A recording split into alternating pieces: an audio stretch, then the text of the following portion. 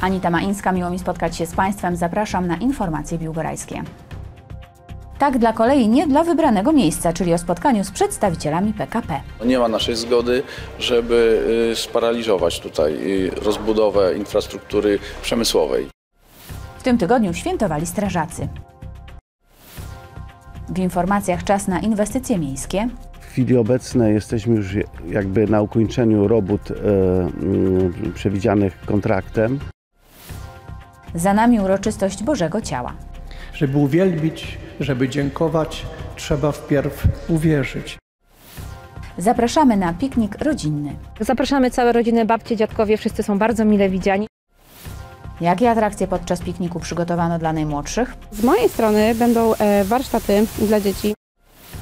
Tydzień temu na placu Biłgorajskiego Centrum Kultury gościli Indianie. Prezentujemy e, różnego rodzaju aspekty dawnego życia rdzennych mieszkańców Ameryki, czyli Indian Ameryki Północnej. Zapraszamy do Ośrodka Sportu i Rekreacji na Dzień Dziecka na Sportowo. Y, Niezależnie od pogody zapraszamy wszystkie dzieci y, w poniedziałek 3 czerwca na Sportowy Dzień Dziecka. Kolej tak, projekt nie. Zgadzacie się z naszymi samorządowcami? Burmistrz Wojciech Gleń, wójt Dariusz Świerczyński i burmistrz Józef Rudy nie zaakceptowali trasy zaproponowanej przez wykonawcę. 28 maja w ratuszu odbyło się spotkanie w sprawie budowy kolei. Miałaby powstać do 2029 roku. Nie zgadzamy się na taki przebieg trasy kolejowej. Tak zgodnie i stanowczo zareagowali na przedstawiony im projekt burmistrz Biłgoraja, Frampola i wójt gminy Biłgoraj. Takie wrażenie mam, że tego nikt nie konsultował, no, czyli projektant nie przyjechał przed w ogóle opracowywaniem koncepcji, tylko jak gdyby no, wykonał koncepcję, a teraz stara się e, przekonać nas, e, mieszkańców, tutaj samorządowców, żebyśmy się zgodzili na przebieg tej trasy. Przekonać nie będzie łatwo, każdy samorząd ma duże zastrzeżenia. Wszystkie trzy nie chcą się podpisać pod projektem. Każdy ma swoje powody, przez które liczy na zmiany w przebiegu trasy. Dla miasta i gminy Biłgoraj nie do przyjęcia jest to, że linia kolejowa miałaby przecinać strefę ekonomiczną na zachód od drogi 835. To byłby cios dla naszej strefy przemysłowej, mówi wójt Dariusz Świerczyński. Gmina poniosła ogromne e, koszty też na budowę, na uzbrojenie terenu, na opracowanie planu, no a teraz linia kolejowa dos- przecina wręcz w poprzek, e, uniemożliwiając, e, no można tak określić, dalszy rozwój czy prawidłowe korzystanie z tych gruntów. Jednocześnie e, no, są przedsiębiorcy, są ich oczekiwania, oni wzięli kredyty, mają plany z tym związane no i to są miejsca pracy, no i podatki oczywiście płacone przez przedsiębiorców dla gminy. Także będę walczył jako, jako wójt o zmianę przebiegu tej trasy. Przypominamy, że projekt dotyczy linii kolejowej Janów Lubelski-Biłgoraj, która jest częścią planowanej trasy Szastarka Janów Lubelski-Biłgoraj. W środę 28 maja w sali konferencyjnej Urzędu Miasta odbyło się spotkanie samorządowców z projektantami.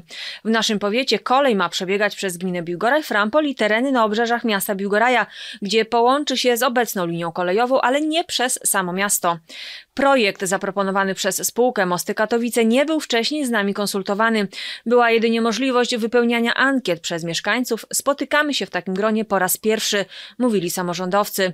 A szkoda, bo stworzenie koncepcji to przecież ogrom pracy i koszty. Przebieg trasy przez tereny przemysłowe, których nie mamy przecież wiele, jest dla nas nie do zaakceptowania, mówił Wojciech Gleń, burmistrz Biłgoraja. Chcemy rozwijać właśnie gospodarczo te tereny, y, no skomplikują relacje z przedsiębiorcami, skomplikują im funkcjonowanie. Tam już sporo firm się ulokowało, chcą pracować, płacić podatki, no to na niekorzyść by wpłynęło, więc y, zabiegamy bardzo mocno. Nie ma naszej zgody, żeby y, sparaliżować tutaj rozbudowę infrastruktury przemysłowej w naszym terenie, w terenie gminy, w terenie miasta i wystąpiliśmy z wnioskiem, żeby przeanalizować i zmienić przebieg trasy, tak żeby mieszkańcom umożliwić funkcjonowanie. Dla dobra mieszkańców o zmiany w projekcie stanowczo zaapelował również burmistrz Szampola Józef Rudy i też ma konkretny powód. Przedstawiony nam do akceptacji projekt przebiegu trasy kolejowej Szostarka Piłgoraj no, ingeruje nasze zamierzenia y, wynikające z planu zagospodarowania przestrzennego jako gminy, ale przede wszystkim ta linia jest po posadowiona, zaprojektowana zbyt blisko budynków mieszkalnych. Przede wszystkim dotyczy to miejscowości Sokółówka, kolonia Sokołówka, również y, potrosze Karolówki. My jesteśmy za tym, żeby w Rampolu powstał przystanek, bo wiadomo przeciwdziała to wykluczeniu komunikacyjnemu, stanowi jakąś alternatywę ale y, no, nie, nie jesteśmy zwolennikami, nie akceptujemy, nie podpisujemy się pod projektowanym y, przebiegiem nam zaprezentowanym tejże linii. Przedstawiciele wykonawcy, czyli spółki Mosty Katowice, proszeni o rozmowę odesłali nas do rzecznika. Podczas spotkania z samorządowcami obiecali na piśmie odnieść się w ciągu dwóch, trzech tygodni do proponowanych zmian w przebiegu trasy i przypominali, że muszą być one też zaakceptowane przez PKP Polskie Koleje S.A. i Urząd Marszałkowski Województwa Lubelskiego. Wciąż też nie wiadomo, kiedy odbędą się konsultacje społeczne z mieszkańcami w sprawie przebiegu linii. Jej długość od Janowa do Biłgoraja to 52 km, a na nich 8 przystanków. 29 maja w Biłgoraju odbyły się uroczystości Powiatowego Dnia Strażaka. Jak co roku przy tej okazji strażacy otrzymali odznaczenia i awanse zawodowe. Oficjalnie przekazano również Biłgorajskiej Straży nowy sprzęt, czyli bozy wojowe do akcji ratowniczych. Gaszą pożary, prowadzą akcje ratownicze, pomagają w trakcie wystąpienia klęsk żywiołowych i innych zagrożeń, jak wypadki drogowe czy katastrofy kolejowe. Bez strażaków ochrona ludzkiego życia i dobytku nie byłaby możliwa. W środę 29 maja Komenda Powiatowa Państwowej Straży Pożarnej w Biłgoraju obchodziła uroczyście Dzień Strażaka, który był okazją do podziękowania im za służbę. Wydarzenie odbyło się na placu przed komendą przy ulicy Dąbrowskiego. Uroczysta zbiórka zaczęła się od odegrania polskiego hymnu i wciągnięcia flagi na maszt.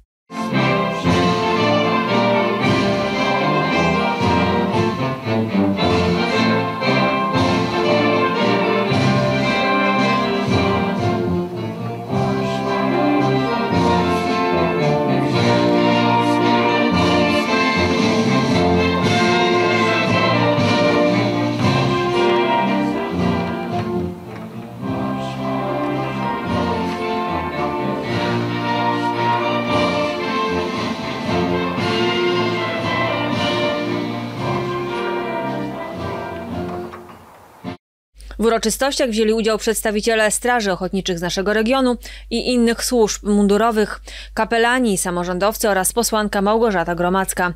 Wśród gości znaleźli się m.in. starosta biłgorajski Andrzej Szarlip, wiceburmistrz Biłgoraja Jacek Piskorski, byli też wójtowie gmin powiatu biłgorajskiego.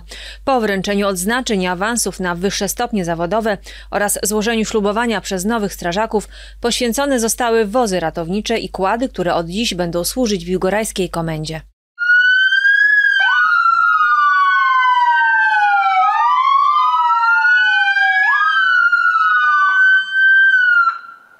Oto lista osób awansowanych, wyróżnionych i mianowanych w związku z tegorocznym Dniem Strażaka. Srebrną odznaką zasłużony dla ochrony przeciwpożarowej oznaczony został starszy ogniomistrz Grzegorz Pieczykolan. Brązową odznaką brygadier Tomasz Kozioł, starszy kapitan Michał Mizak, kapitan Zbigniew Popowicz, młodszy kapitan Dawid Hamot, aspirant sztabowy Waldemar Rój i starszy ogniomistrz Marcin Golik. Złotym medalem za zasługi dla pożarnictwa oznaczeni zostali starszy kapitan Michał Mizak i młodszy kapitan Dariusz Zabłotni, a srebrnym młodszy kapitan Dawid Hamot, starszy aspirant Arkadiusz Gołąb, starszy aspirant Jarosław Wic, aspirant Józef Jednacz, a brązowy medal za zasługi dla pożarnictwa przypadł kapitanowi Kamilowi Boryło, młodszemu kapitanowi Damianowi Padjaskowi, aspirantowi Patrykowi Krajewskiemu, młodszemu aspirantowi Damianowi Białkowi oraz młodszemu ogniomistrzowi Damianowi Kozibrzuchowi. Odznaką Strażak Wzorowy wyróżnieni zostali druchowie Paweł Lenart, Daniel Matycz, Łukasz Paczos i Adrian Żerebiec.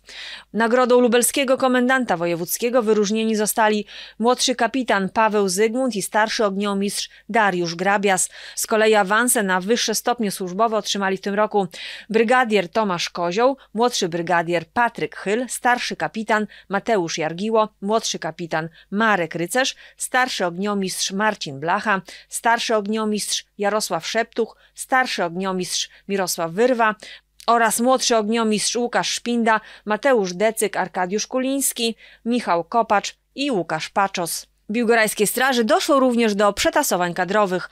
Komendant powiatowy PSP w Biłgoraju mianował z dniem 1 maja bieżącego roku na wyższe stanowiska służbowe strażaków aspiranta sztabowego Piotra Mroza na stanowisko dowódcy zmiany, młodszego kapitana Dawida Hamota na stanowisko zastępcy zmiany oraz starszego aspiranta Jarosława Widza na stanowisko kierownika sekcji.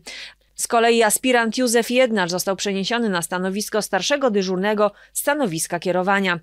Uroczyste ślubowanie na sztandar podczas obchodów Dni Strażaka złożyli Mateusz Oleszczak, Adrian Późniak i Michał Skubis. Teraz w informacjach czas na inwestycje miasta. Tym razem przenosimy się do osiedla Różnówka. Tu już prawie na ukończeniu jest budowa kolejnych trzech ulic wraz z towarzyszącą im infrastrukturą. Szczegóły zna i opowie Jerzy Sosnowski. Tym razem mówić będziemy o osiedlu Różnówka i inwestycji miasta, która kosztowała ponad 7 milionów złotych.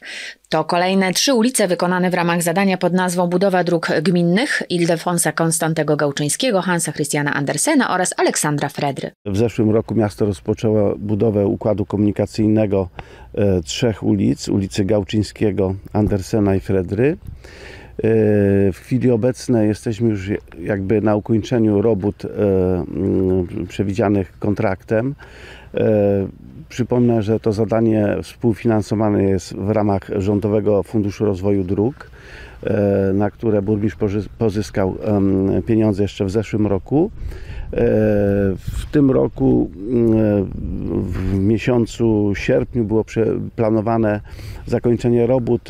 Wykonawca sprężył się, pogoda dopisywała, także to zakończenie robót planowane jest na koniec czerwca.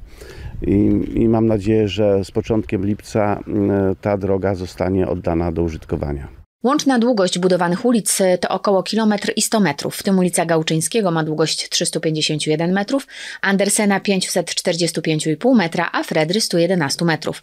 Została również wykonana boczna droga wewnętrzna o długości 75 metrów bieżących. Kompleksowo została e, wykonana, e, wykonana kanalizacja deszczowa, e, oświetlenie uliczne LED, jedno miejsce E, przejście dla pieszych e, będzie wyniesione. Oczywiście przejście dla pieszych e, wykonane z dedykowanym oświetleniem, tylko dla, dla tych miejsc. Dodatkowo wykonano drenaż, Oczywiście chodniki jednostronne przy ulicy Fredry, Gałczyńskiego i Andersena. Przebudowano też wodociąg i sieć gazową, trwają również prace wykończeniowe. Koszty zadania to prawie 7 milionów 900 tysięcy złotych, w tym dofinansowanie ze środków budżetu państwa w ramach Rządowego Funduszu Rozwoju Dróg to ponad 3 miliony 750 tysięcy. W czwartek obchodziliśmy jedno z największych świąt w Kościele katolickim. W Polsce głównym punktem obchodów Święta Bożego Ciała jest procesja eucharystyczna ulicami miast, która zawsze odbywa się w czwartek, 60 dni po Wielkanocy. Nasza telewizja transmitowała tego dnia nabożeństwo z Kościoła w Niebowzięcia Najświętszej Marii Panny. Uroczystość Bożego Ciała gromadzi nas wokół Chrystusowego ołtarza, byśmy po raz kolejny w naszym życiu mogli uczestniczyć w wielkiej tajemnicy naszej wiary, mówił ksiądz Jerzy Kołtun. Dzień dzisiejszy to dzień uwielbienia i dziękczynienia Jezusowi za ten wspaniały dar, jakim jest Jego pozostanie pośród nas pod postacią chleba i wina. Dzień dziękczynienia za pokarm naszych dusz. W Boże Ciało wielbimy Chrystusa Eucharystycznego. Jakże więc aktualne jest wezwanie świętego Jana Pawła II. Otwórzcie drzwi Chrystusowi, nie lękajcie się. Żeby uwielbić, żeby dziękować, trzeba wpierw uwierzyć. I dlatego powinniśmy zapytać dzisiaj samych siebie, jak to jest z naszą wiarą w Jezusową obecność Jezusa pod postaciami chleba i wina. 30 maja tłumy wiernych przeszły ulicami Biłgoraja w procesjach z okazji uroczystości ku czci Najświętszego Ciała i Krwi Chrystusa. Tego dnia po mszy świętej wierni idą w procesji, która zatrzymuje się przy czterech ołtarzach symbolizujących cztery strony świata, gdzie odczytywana jest Ewangelia. Procesje są niezwykle barwne, kolorowe i radosne, a dzieci pierwszokomunijne sypią świeże kwiaty.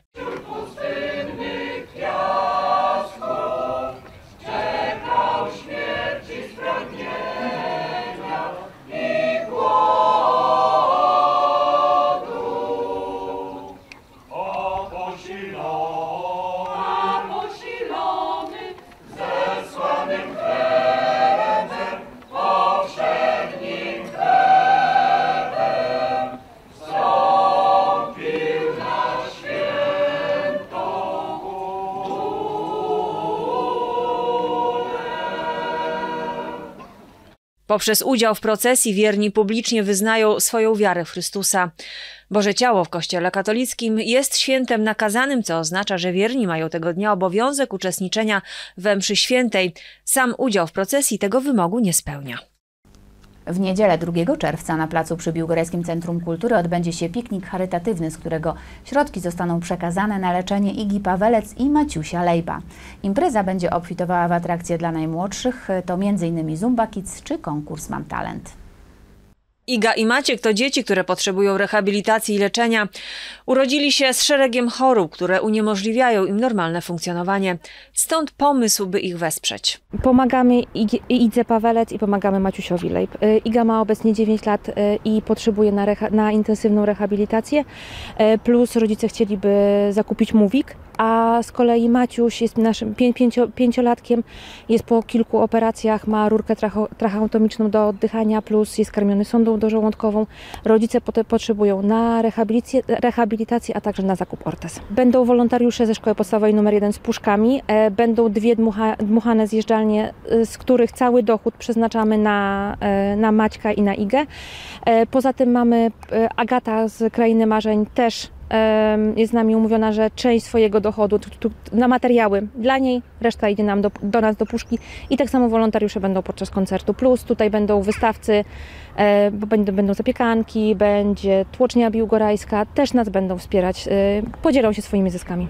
Piknik rozpocznie się 2 czerwca w niedzielę o godzinie 14, a w programie między innymi występy przedszkolaków, Zumba Kids, konkurs Mam Talent, przejażdżka kucykami, koło fortuny i koncert muzyczny na zakończenie. Zabawa potrwa do godziny 22. Zapraszamy całe rodziny, babcie, dziadkowie, wszyscy są bardzo mile widziani, szczególnie najmłodsi, gdyż dla nich będzie najwięcej atrakcji. Obiecujemy, dzieci będą zajęte, rodzice spokojnie będą mogli sobie porozmawiać, a także wesprzeć, na, wes- wesprzeć nasze puszki. Atrakcji podczas pikniku rodzinnego nie zabraknie. O tym, jakie konkretnie będą i te dla najmłodszych, i tych odrobinę starszych, opowie Agata Dzierwicka. Proszę posłuchać.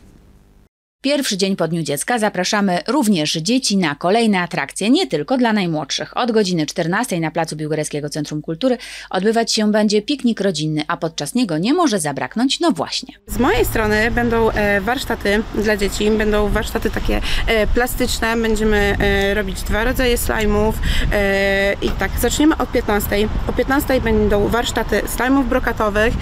Oczywiście jeśli w międzyczasie dojdą kolejne dzieci, to o 15.30 będzie druga tura dla dzieci, które nie zaczęły na początku. E, o 16 planuję warsztaty ze świecy z węzy pszczelej. E, wtedy dzieci dostają świeczkę, dowiadują się odnośnie pszczelarstwa e, i, i po prostu wtedy wiedzą po prostu do czego jest węza pszczela. Dostają świeczkę.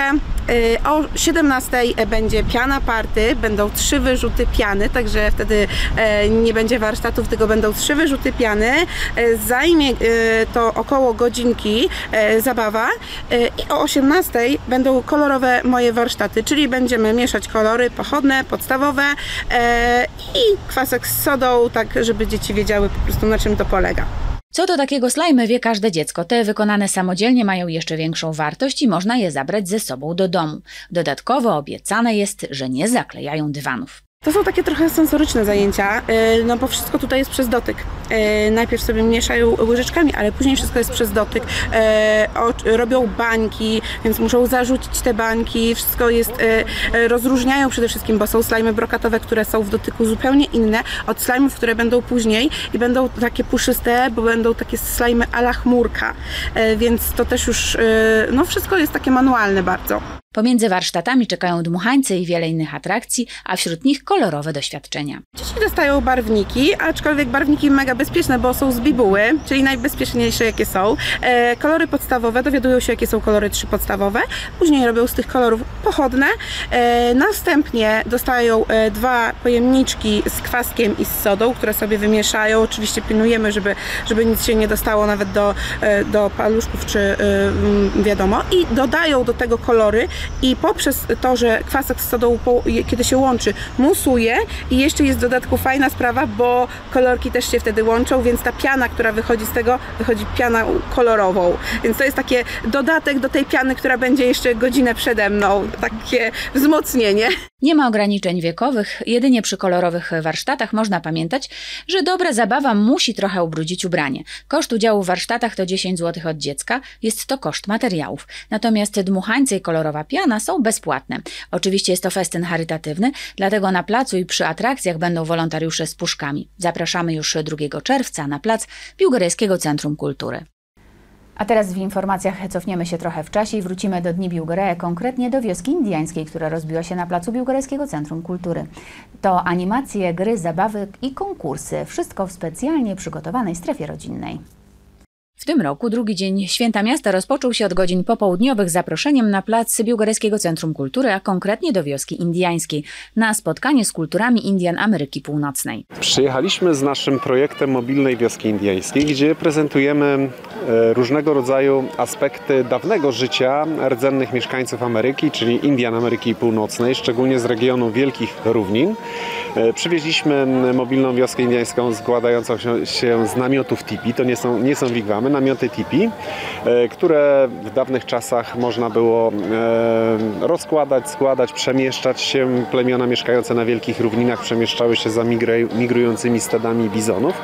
Stąd taka, takie namioty były wykorzystywane przez te plemiona żyjące jeszcze do końcówki lat 70. XIX stulecia. Podczas wielu zabaw dzieci mogły dowiedzieć się ciekawostek o życiu i zwyczajach Indian. Można było zobaczyć wyposażenie, tipi, stroje męskie, kobiece i dziecięce oraz typowe przedmioty codziennego użytku wykonane z naturalnych materiałów. Nauka przez zabawę. Mamy wiele e, przedmiotów codziennego użytku, wiele replik rękodzieła, o których opowiadamy, żeby e, dzieciaki mogły sobie zdać sprawę, że kiedyś e, wykonywano tak naprawdę wszystko ręcznie. Wszystko trzeba było przygotować. I nie dotyczy to tylko rdzennych mieszkańców Ameryki, wszystkich rdzennych kultur, również nas tutaj. Kiedyś, żeby coś posiadać, trzeba było to zrobić. Teraz wiadomo, idziemy z rodzicami do sklepu, a najczęściej klikamy, klikamy w klawiaturze i kurier kurier bądź, bądź jakiś, jakiś, jakiś paczkomat, paczkomat nas obsługuje. Także tutaj to jest takie, takie pokazanie troszkę innych wartości życia, że troszkę inaczej to wyglądało. Opowiadamy, że ten bizon, zwierzę, które no, trzeba było zabić, ale ono było takim chodzącym supermarketem na czterech nogach. Na czterech nogach, gdzie można naprawdę z tego zwierzęcia było e, wykorzystać bardzo wiele, wiele elementów i było ono potrzebne do wykonywania przedmiotów codziennego użytku, do poszyć namiotów tipi, na różnego rodzaju kapoty na zimę, nawet zimowe obuwie z futrem. E, no wiele, wiele ścięgna, kości, kopyta, to wszystko, nawet ogon był wykorzystywany. Tej zabawy nie zabrakło. Chętni mogli brać udział w licznych grach i konkurencjach strzeleckich czy zręcznościowo-humorystycznych, takich jak strzelanie z łuku, rzut na róg, polowanie na bizona, czyli zarzucanie kółek na bizonie rogi, wyścigach węży lub żółwi, rzutu migdałami bizona, rzutu skórzaną piłką z użyciem lakietek rakros. W ruch poszły też indiańskie narty czy rzut podkowami. 26 maja świętowano też Dzień Mamy i o nich pamiętali zwłaszcza najmłodsi. Kupiłam mojej mamie na dzień mamy tak, taką bransoletkę na rękę i sobie takiego zęba. Powiedz, podoba Ci się dopiero przyszedłeś? Jak to wygląda? Przyszliśmy chwilę temu, ale bardzo mi się podoba. Każdy z odwiedzających tego dnia plac Biłgorajskiego Centrum Kultury mógł znaleźć coś dla siebie. Dziś Dzień Dziecka. Dla najmłodszych to najważniejsze święto w roku. Okazuje się, że ten czas można rozciągnąć i tak się stanie, bo wiele atrakcji nie tylko dla najmłodszych odbywać się będzie i w sobotę, i w niedzielę, i w poniedziałek. I właśnie wtedy zapraszamy do Ośrodka Sportu i Rekreacji na Dzień Dziecka na Sportowo. Dzień Dziecka jak co roku rozciąga się w czasie i trwa, trwa i trwa. I dobrze, bo to wyjątkowy dzień, w którym możemy sami poczuć się jak dzieci i wybrać spośród wielu atrakcji przygotowanych specjalnie dla nich. Jedną z nich jest Dzień Dziecka na sportowo. Y, niezależnie od pogody zapraszamy wszystkie dzieci y, w poniedziałek 3 czerwca na sportowy Dzień Dziecka. Y, tutaj na stadionie odbędzie się trójbój lekkoatletyczny, zawody skalisteniki, a najmłodsi piłkarze Akademii Łady Biłgoraj zapraszają na konkurs e, Turbo Kozak. E, oprócz konkurencji dla dzieci będzie też konkurencja dzieci plus rodzice. E, będzie to bieg rodzinny w trójboju lekkoatletycznym, a z kalisteniki zapraszamy też rodziców z dziećmi czy opiekunów na zwis na drążku. Oczywiście jak zawsze nie zabraknie pucharów, medali i wielu nagród. Nie tylko do wygrania, ale też do wylosowania. Nie zabraknie również słodkiego poczęstunku. Warto zarezerwować sobie popołudnie, by spędzić je wspólnie na świeżym powietrzu. Żeby wziąć udział w zawodach zawodach należy wypełnić oświadczenie, y, które będzie dostępne na stronie OSIR albo będzie do pobrania y, w dniu imprezy y, przy zapisach. Przy zapisach. Dzieci startują od 6 lat. Są podział na konkurencje wiekowe. W, w programie trójboju przewidziany jest bieg na 60 metrów, bieg wytrzymałościowy i trójskok. Zapraszamy wszystkie chętne dzieci i ich rodziców w poniedziałek 3 czerwca na Stadion Ośrodka Sportu i Rekreacji. Wszystkim dzieciom w dniu ich święta życzymy uśmiechu i spełnienia marzeń, oczywiście i tym najmłodszym, i tym najstarszym również. Redakcyjnie. Do zobaczenia.